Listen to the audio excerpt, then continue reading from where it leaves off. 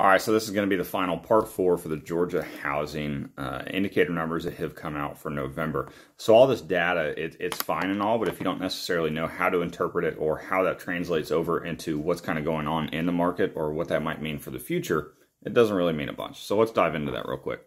So for the new listings uh, having decreased in the greater Athens area, to me that means that less people are starting to put their homes on the market. Well, during usually about November to February timeframe usually is not a very busy part of the season anyways, no matter if we're in a buyer's or seller's market to begin with.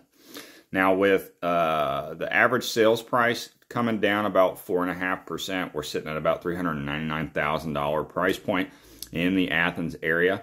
Uh, that's that's a good thing because then that's going to start to allow people to get back into the market for a lower price point. And I've been saying this for a little while that if you have any homes that have sat on the market for longer than 60, 75 days, those are going to be the perfect opportunities for you to come in, write a thirty, fifty thousand dollar below list offer price, and see if the sellers are actually motivated.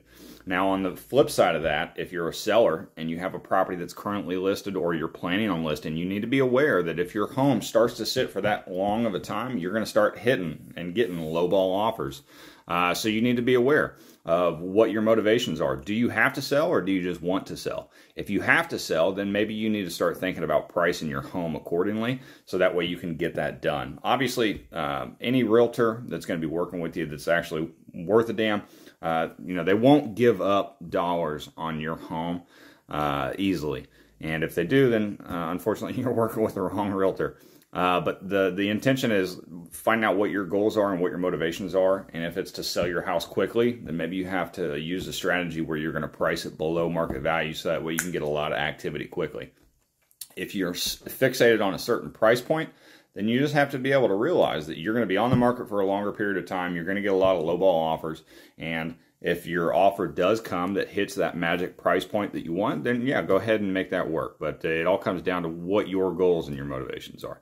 Uh, now, days on market, with having those decreased, that's just going to be kind of uh, natural for everything that's going on. And month supply of inventory is up 33% to four months total. So that means if no new homes came on the market at the rate that homes are currently selling, it would take four months to go through all of that existing inventory.